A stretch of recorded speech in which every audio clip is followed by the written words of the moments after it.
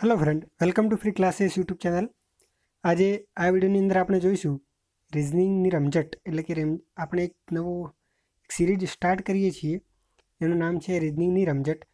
આ ભાગ એક છે. એના અંદર શું હશે? કે હું તમારા સમક્ષ દસ પ્રશ્નો લઈને આવીશું રિઝનિંગના જે અલગ અલગ ટોપિક રિઝનિંગનો જે અલગ અલગ ટોપિક હોય એ દરેક ટોપિકમાંથી એ પ્રશ્ન લીધેલો હશે. જેના કારણે શું થાય? તમે દરેક ટોપિકને સમજી લો સરળતાથી અને દરેક ટોપિક તમારે દરરોજ રિવાઇઝ થતો રહે. એટલા માટે આ સિરીઝ આપણે સ્ટાર્ટ કરી છે. તો જો તમને આ વીડિયો ગમે તો લાઈક કરી લેજો, પોતાના મિત્રો સાથે શેર પણ કરી લેજો.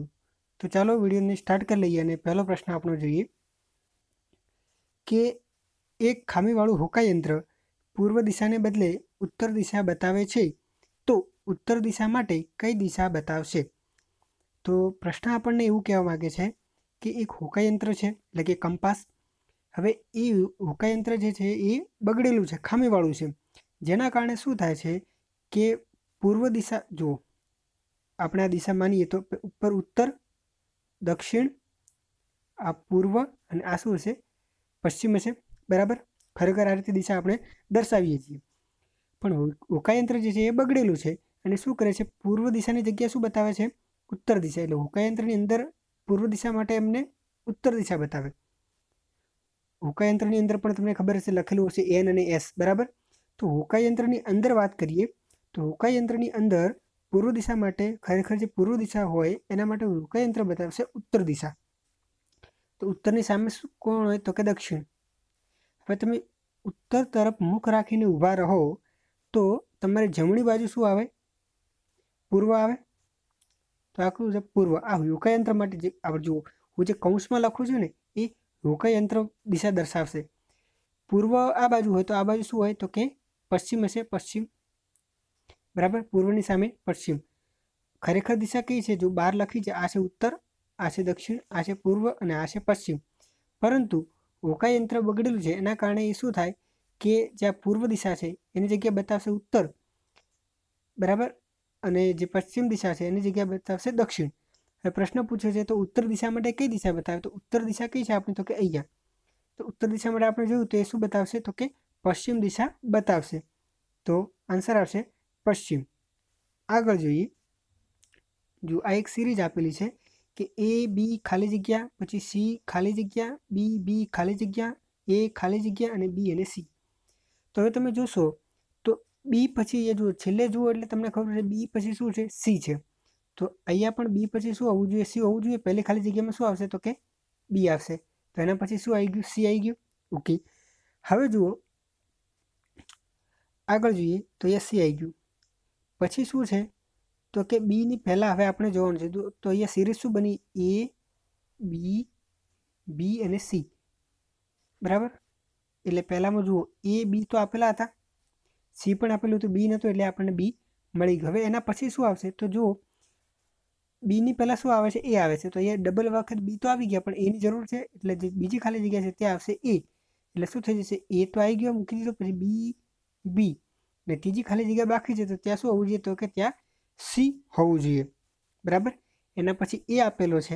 અને એ પછી શું આવે? તો આપણે જોયું કે એ પછી શું આવે છે? બી આવે છે. તો અહીંયા શું આવશે? બી. તો આપણો આન્સર થશે બી, એ, સી, બી. બી, એ, સી, બી. જવાબ એ. બરાબર? આગળ જઈએ. આ કોડિંગ છે. પણ કોડિંગની અંદર તમને સાદરૂપ પણ ભેગું પૂછી લીધું છે કે જો ડોલરનો અર્થ સરવાળો થતો હોય એઝ ધ રેટનો અર્થ ભાગાકાર થતો હોય અને હેશનો અર્થ ગુણાકાર થતો હોય અને ટકાનો અર્થ બાદબાકી થતો હોય, તો જે નીચે સમીકરણ આપ્યું એનું તમારે સાદરૂપ આપવાનું છે.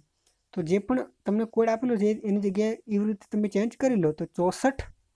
હવે એઝ ધ રેટની જગ્યાએ શું છે? તો કે ભાગાકાર. તો ભાગાકાર આઠ. પછી શું છે? ડોલર ડોલર એટલે સરવાળો. તો કે સરવાળો વત્તા ચાર આવી જશે. પછી શું છે? ટકા. ટકા એટલે બાદ બાકી બાદ બાકી માઇનસ સિક્સ જો તમને વીડિયો ક્લિયર ના દેખાતો હોય તો તમે તમારી જે વીડિયો ક્વોલિટી હોય એને ચેન્જ કરી લેજો. થ્રી સિક્સટી કરી દેજો. એટલે તમને ક્લીન દેખાશે. પછી શું છે? હેશ. હેશ માટે શું આવશે? ગુણાકાર. તો કે ગુણ્યા બે. બરાબર? હવે આનું સાદરૂપ આપી દો. તો ચોસઠ ભાગ્યા આઠ. ભાગુસભાના રૂલ પ્રમાણે બોર્ડ માસના રૂલ પ્રમાણે સૌથી પહેલાં ભાગાકાર. ચોસઠ ભાગ્યા આઠ એટલે કેટલો? આઠ. વત્તા ચાર. પછી ભાગાકાર પછી શું આવે ગુણાકાર. તો છ ગુણ્યા બે એટલે બાર. તો માઇનસ બાર. હવે જુઓ, આઠ વત્તા ચાર બાર માઇનસ બાર એટલે શું આવશે? જવાબ જીરો. તો આનો જવાબ જે આવશે, એ આવશે જીરો. બહુ સરસ પેટર્ન છે. આ રીતે પણ હવે પૂછાઈ શકે છે. આગળ જોઈએ. ઓકે, હવે તમારે એ મિસિંગ નંબર ફાઇન્ડ કરવાનો છે. કોઈક વાર શું સિરીઝમાં પૂછાય? તમને સિરીઝ પૂછાય અને એના અંદર મિસિંગ નંબર હોય. અને કોઈક વાર આ રીતે બોક્સની અંદર પણ તમારે મિસિંગ નંબર શોધવાનો હોય છે. તો જુઓ, હવે અહીંયા બે, ચારનો ઉપયોગ કરીને વીસ લાયા છે. બરાબર? કેમ ખબર પડી કે વીસ લાયા છે? તો કે જુઓ આમ જોઈએ તો બે અને પાંચનો ઉપયોગ કરીને સાત લાયા. પછી ત્રણ અને ચારનો ઉપયોગ કરીને એક. તો કે આ લોજિક ન બેસે. બેનો, બે નાની સંખ્યાનો ઉપયોગ કરીને મોટી સંખ્યા લાવી છે, એ આપણે જોવાનું છે. માટે મેં અહીંયા એવું વિચાર્યું કે શું આપ્યું છે? બે અને ચારનો યુઝ કરીને વીસ આપ્યા છે. તો કેવી રીતે વીસ આવ્યા છે એ આપણે જોવાનું થાય. તો જુઓ અહીંયા એમને કર્યું છે શું?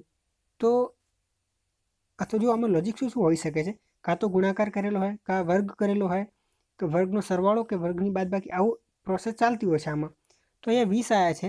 તો આપણે કહીએ કે બેનો વર્ગ કેટલો થાય? તો કે ચાર. ચારનો વર્ગ સોળ. તો આ બંનેનો સરવાળો કેટલો થઈ ગયો? તો કે વીસ. હવે આગળ જોઈએ કે શું સાચું છે? તો જોઈએ પાંચનો વર્ગ કેટલો? તો કે પચીસ. બરાબર? ત્રણનો વર્ગ કેટલો? તો કે નવ. પચીસને નવ કેટલા થાય? ચોત્રીસ. તો કે હા, ચોત્રીસ થાય છે. એટલે આપણું લોજિક સાચું છે તો કે સાતનો વર્ગ ઓગણપચાસ, એકનો વર્ગ એક અને જવાબ આવશે પચાસ. બરાબર? એટલે જે ક્વેશ્ચન માર્ક છે ત્યાં આવશે, શું આવશે? પચાસ આવશે. આગળ જોઈએ. કંટ્રોલ પી તો પ્રિન્ટ કંટ્રોલ વી તો શું આવશે? તો આપણને જો આના અંદર હવે કમ્પ્યુટર પી કમ્પ્યુટર બી આવી ગયું. એટલે રીઝનિંગની અંદર તમારે જે જે ટોપિક નાખવો ને એ બધો તમે નાખી શકો છો. તો કંટ્રોલ તો પી તો સોરી કંટ્રોલ પી તો પ્રિન્ટ કંટ્રોલ વી તો શું આવશે? તો આપણને ખબર છે કે કંટ્રોલ પી કરીએ તો પ્રિન્ટ થાય. તો કંટ્રોલ પ્લસ વી કરીએ તો શું થાય? તો કે પેસ્ટ તો આનો જવાબ આવશે પેસ્ટ આગળ જોઈએ. તો એક મેં થોડી સ્ક્રીન હું મોટી કરી લઉં. આ જે શબ્દો આપેલા છે, એ શબ્દોને તમારે ડિક્શનરીના ક્રમ પ્રમાણે ગોઠવવાના છે. તો જુઓ, પે ઈ બધામાં છે. ઓકે એટલે કોઈ, એના આધારે આપણે એને પહેલો બીજો નંબર ના આપી શકીએ. એબીસીડીના આધારે એટલે જુઓ પહેલો એથી સ્ટાર્ટ થવો જોઈએ. એથી સ્ટાર્ટ થતો એવો લેટર આવે, પછી બેથી સ્ટાર્ટ થતો હોય એવો આવે, પછી સીથી સ્ટાર્ટ થતો હોય એવો લેટર ક્રમિક આવતા હોય છે. બરાબર? તો અહીંયા બધા ઈથી સ્ટાર્ટ થાય છે. એટલે એના આધારે તો આપણે પહેલા અક્ષરના આધારે, પહેલા આલ્ફાબેટના આધારે આપણે એવું નક્કી નહીં કરી શકીએ કે પહેલો કોણ આવશે અને બીજું કોણ આવશે. તો બીજો જોઈએ તો બીજો આલ્ફાબેટ શું છે? એ છે. તો એના આધારે પણ ખબર નહીં પડે કારણ કે બધામાં એ છે. ત્રીજો જોઈએ તો આમાં જી છે, પહેલામાં જી બીજામાં આર ત્રીજામાં જી ચોથામાં આર તો કે જો આ બંનેની અંદર જી છે આ બંનેની અંદર શું પડી? ટાઈ પડી. આ બંનેમાંથી કોઈ એક પહેલું આવશે અને એક બીજું આવશે. પહેલું કોણ આવશે? તો કે બંનેમાં જી તો સમાન છે. તો કે ચોથો જુઓ. આગળ વધ્યા. આગળ વધીને જોયું તો આની અંદર જી પછી ઈ આવે છે. આના અંદર જી પછી એલ આવે છે. તો એલ પહેલાં કોણ આવે? ઈ આવે. તો આનો નંબર પહેલો અને આ બની જશે બીજો. બરાબર?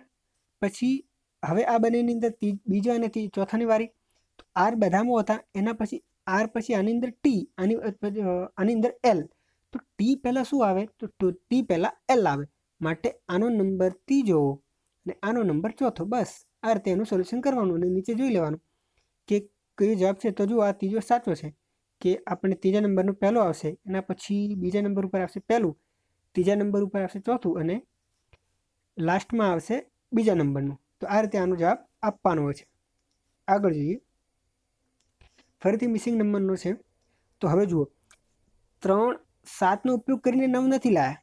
એ યાદ રાખો, મેં તમને શું કીધું કે બે નાની સંખ્યાનો ઉપયોગ કરીને મોટી સંખ્યા લાવતા હોય છે. તો અહીંયા ત્રણ અને બેનો યુઝ કરીને બાર લાયા છે. સાત અને ત્રણનો યુઝ કરીને ત્રેસઠ લાયા છે. તો આપણે નવ અને પાંચનો યુઝ કરીને કેટલા આવે એ આપણે જણાવવાનું છે. તો લોજિક શોધવાનું ટ્રાય કરીએ. તો કે જુઓ, ત્રણ ગુણ્યા કેટલા કરતો બાર આવી જાય તો કે ચાર. ચાર કેવી રીતે આવે તો કે બેનો સ્ક્વેર કરી લો. મેં તમને પહેલાં પણ કીધું કે સ્ક્વેર ચાલતું, કાં તો વર્ગ ચાલતો હોય, કાં ગુણાકાર ચાલતો હોય, એવી પ્રોસેસ ચાલતી હોય છે. તમે ટેન્શન ના લો. આપણે એટલા બધી પ્રેક્ટિસ કરીશું આવા ક્વેશ્ચનની કે તમારા માટે એકદમ ફેમિલિયર થઈ જશે. પીસ ઓફ કેક જેવું થઈ જશે તમારા માટે. ઓકે તો three into two square means four three into four means twelve તો આન્સર બાર અહીંયા છે. બરાબર છે. લોજિક સાચું છે. હવે આગળ જોઈએ. તો સાત ગુણ્યા ત્રણનો વર્ગ એટલે નવ, તો નવ સીધા ત્રેસઠ. ઓકે એકદમ રાઈટ તો બસ, તો આવી રીતે આનો આન્સર નાઇન ઇન્ટુ પાંચ તો વર્ગ પચીસ. તો કેટલા થશે? પચીસ ગુણ્યા નવ કરવા છે. પચીસ ગુણ્યા દસ કરો તો કેટલા થાય? તો કે અઢીસો રૂપિયા. પચીસ ગુણ્યા દસ કરીએ તો કે અઢીસો. પણ એમાંથી આપણે નવ વખત કરવાના હતા. આપણે દસ વખત કરી લીધા. તો કે કોઈ નહીં પચીસ બાદ કરી લો. તો અઢીસોમાંથી પચીસ બાદ કરીએ તો કેટલા વધે? બસો ને પચીસ. રાઈટ આન્સર અહીંયા જુઓ. બસો ને પચીસ આપેલું છે. આગળ જોઈએ. જો આ પ્રકારના પણ ક્વેશ્ચન પૂછાતા હોય છે, જેને કહેવાય છે વેન ડાયાગ્રામ બરાબર? તો આના અંદર શું હોય? તમારે લોજિકલી રીતે સાચું પાડવાનું હોય છે. હું તમને એમ કહું કે, ધારો કે વિદ્યાર્થીઓ, એક બાજુ છે વિદ્યાર્થીઓ, મતલબ સ્ટુડન્ટ પછી ગર્લ્સ અને પછી બોય તો જો, સૌથી પહેલાં તો બધા સ્ટુડન્ટ હોય.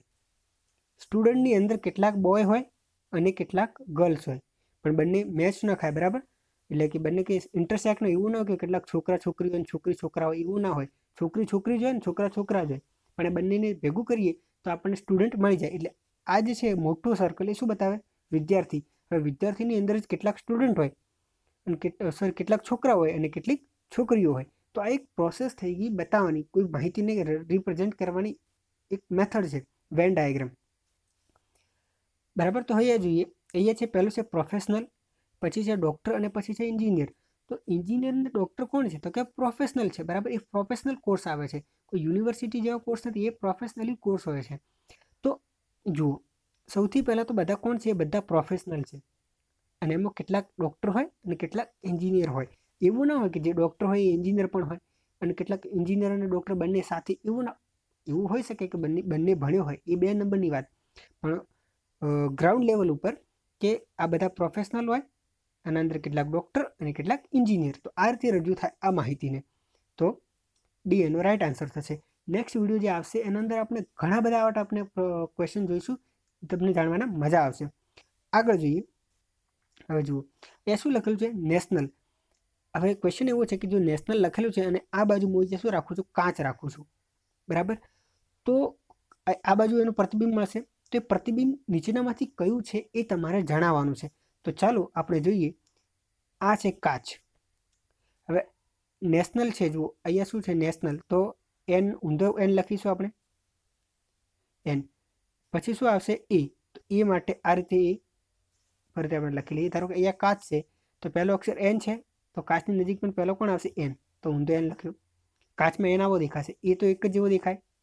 ટી પણ સેમ જ દેખાય. બરાબર? તો હવે ઓપ્શન જુઓ, કોઈ આને આને મેચ ખાય છે? તો કે પહેલું ઓપ્શન મેચ ખાતું નથી એટલે આ તો કેન્સલ બીજું ઓપ્શન મેચ ખાય છે. ત્રીજું ઓપ્શન મેચ ખાય છે. ચોથું પણ મેચ ખાય છે. ચલો, આગળ વધીએ. ઓ એમને એમ દેખાશે. સોરી ઓ નહીં આવે. પછી આઈ આવશે. સો કે આઈ આવશે. આઈ પણ એમ જ દેખાશે. ઓ પણ સેમ દેખાશે. પછી આવશે એન તો એન તો આપણે પહેલાં લખ્યું. હવે જુઓ કોઈ કોઈ એકાદું ઓપ્શન ડિલીટ થાય છે, તો કે જુઓ, આને જોઈએ. તો N A T I O N એમનું એમ આપેલું છે, એટલે આ ખોટું છે, બરાબર? આ બંને થોડા મેળ ખાય છે, હવે આગળ જોઈએ. તો પછી શું આવશે? એ તો એમને એમ દેખાશે, હવે એલ તો એલ જો તમે કાચની સામે આ રીતે એલ હોય, તો કાચ તમને આ રીતે બતાવે, એટલે આ રીતે આવશે. તો જે રાઈટ આન્સર શું થશે? ઓકે તો રાઈટ આન્સર થશે આમ. ઓકે તો આ રીતે આવશે. આન્સર આવશે બી બી એનો રાઈટ આન્સર છે. હવે મિરર ઇમેજમાં હું તમને થોડીક માહિતી આપી દઉં. કાચ કાચ એક એવી વસ્તુ છે કે તમે જે કરશો, સારું કરશો આઈ મીન યાદ કેવી રીતે રાખવાનું મિરર ઇમેજને સોલ્વ કરવા માટે? તમે જે કરશો ને કાચ એવું કરશે. જો તમે કાચની અંદર કોઈ તીર મારો ને, તો કાચ પણ તમને સામે શું મારે? તીર. આવું યાદ રાખો. ક્યારેય કોઈ ખોટું નહીં પડે. તો હવે હું તમને કહું, આ કાચ છે. બરાબર છે? હવે મેં કાચની સામે આ રીતે લખ્યું છે. બરાબર છે? મેં કાચની સામે આ રીતે ઊંધો ત્રણ લખી લીધો છે, બરાબર? તો હવે થશે શું? મારે, મેં આજે ખુલ્લું મુખ કોના તરફ રાખ્યું છે? કાચ તરફ. તો કાચ પણ મારી તરફ ખુલ્લું મુખ રાખશે અને કાચ આ રીતે બનાવશે. બીજું એક એક્ઝામ્પલ જોઈએ. આ કાચ છે, બરાબર? મેં કાચથી દૂર મોઢું રાખ્યું છે, બરાબર? એટલે કાચ ખુલ્લો ભાગ જે છે, ખુલ્લો ભાગ એ મેં કાચથી દૂર રાખ્યો છે. તો કાચ પણ મારાથી જે ખુલ્લો ભાગ એ શું રાખશે? દૂર રાખશે. બીજું ઉદાહરણ જોઈએ. ઉદાહરણ તરીકે જુઓ કે આ કાચ છે. બરાબર? કોઈ એક ફિગર છે આ રીતે.